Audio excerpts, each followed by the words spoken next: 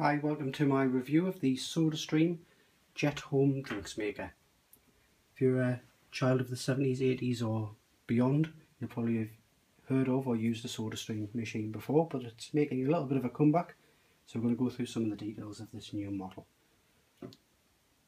All the detail, all the bits and pieces that come with it are out there. So you've got the machine itself in a lovely sleek black, with the mixing bottle and a spare bottle for the drinks that have been made and the all important gas canister itself.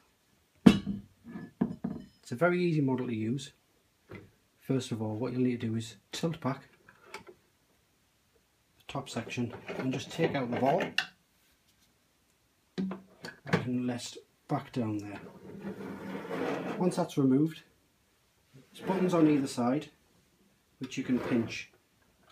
Those in and a slight tug will remove the back panel where you'll place the gas canister itself. I've already pre-removed the seal, but there's a seal on top that you just need to remove and a plastic safety cap which just screws off just like a bottle cap.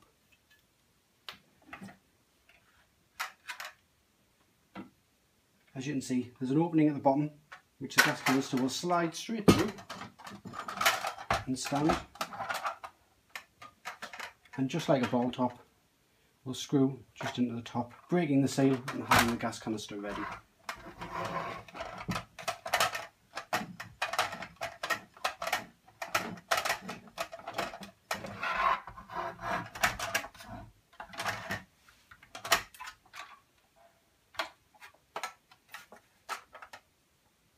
That's it. You don't want to use it too tight, don't use any tools or anything. You'll just be able to feel just like a bottle top when it's in and secure. Once that's in, simply place that back on, waiting for the two buttons just to pop back into place. That's your gas canister all set. Next, and all importantly, I'm going to put some carbonated water in there. So to make the carbonated water I just spoke about, all you need is standard water, in this case normal still tap water we're using, all you need to do is fill this ball to that fill line there and then you're ready to go.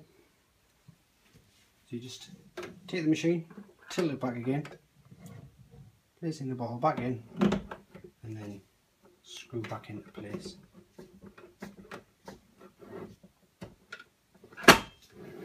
Once done, just let the machine rest back where it was. Now the all important button is on the top. For standard fizzy pop, it recommends three normal pushes. You can add more if you'd like, but everyone's got their own preference on fizz. We're going to go for just standard fizz here. So all you need is three press and holds. So one, two,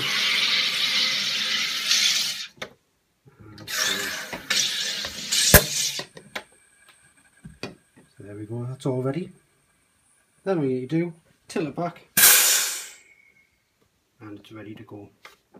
Those of you that like to drink sparkling water, that means your drink is ready now.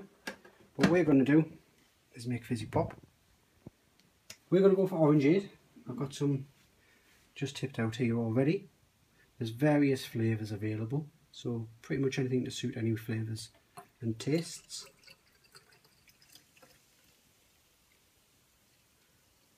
Like my pot quite weak so we're going to go for around about there. But that's it already. Um, if you need to, you can pop the lid straight on this one. Comes with a nice wide lid there. That's ready to go in the fridge or take on your journeys.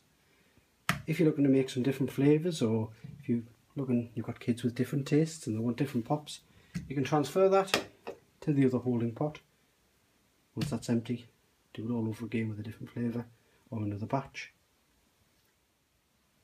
So, in summary, I think the SodaStream machine is really good.